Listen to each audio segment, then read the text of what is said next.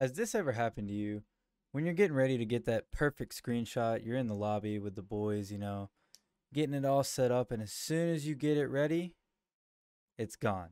Just like that. Well, I have the solution.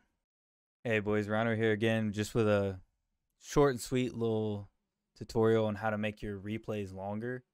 Um, just know before I even start, the longer you make it, the more RAM it is going to take up.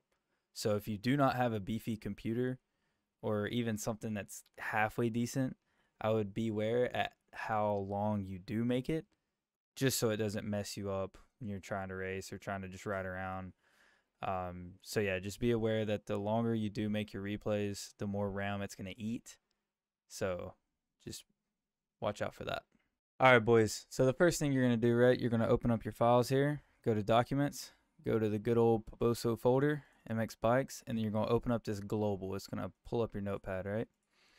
And then you're going to come over here and put a bracket, and then put core, and then enter. And then you're going to put replay equals, let's say, so 40 is the stock. So we'll put 60 just so you can see the difference. So the 40 and the 60, that is the megabytes it'll take up. That's what I was meaning by it'll use up more RAM the more you use because you're taking up more uh, storage and stuff like that on your PC. So you just have to watch out for that. So I'll put 60, come here, save, and then you're good to go after that. Exit out, finish that. So I'm going to show you my replays, right? So all of mine, 48, 42. So they're all within that 40-ish uh, megabyte range, right? All right, so we're going to exit out of there and then load up, and then I'll go save a replay for you real quick just to show you that it's actually working.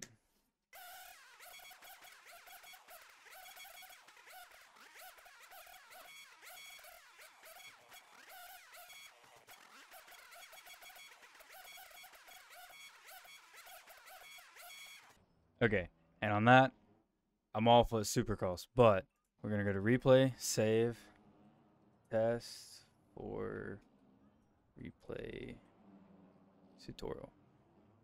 All right. If I could spell.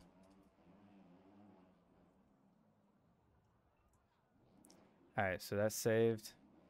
Cool. Now let's go check it out. All right, so we're going to do the same thing. Go to the bikes folder and then go to replays and test for replay tutorial right there you can see it's it's 61 megs okay boys and on that note yeah so like you know how to make the replay longer so you can have better screenshots you can go longer in races without having to get out to save a replay so you can get screenshots in the middle of a race stuff like that um just like i was saying at the beginning just beware the longer you make it the more ram it's going to take up the more it's going to be an issue um the credit for this, of course, goes to Piboso. He posted it on the forum.